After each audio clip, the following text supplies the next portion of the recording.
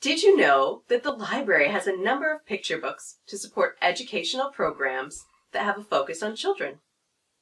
You can find picture books in our library locations to help support and engage learning. Or, if you have children in your life yourself, take a look at our picture book holdings and share them with the little ones in your life.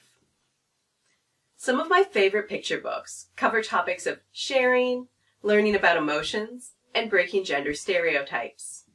Here we are reading Pink is for Boys and Girls and The Word Collector.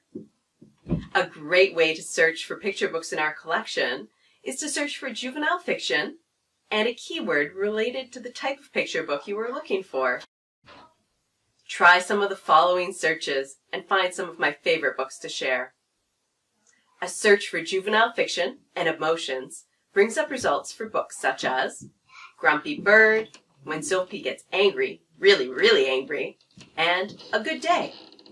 A search for juvenile fiction and gender brings up results for books such as Julian is a Mermaid and Pink is for Boys.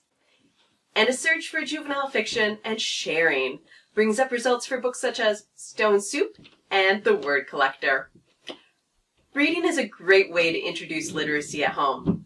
Take a look at our picture book collection or your local public library picture book collection to share a love for reading with the children in your life.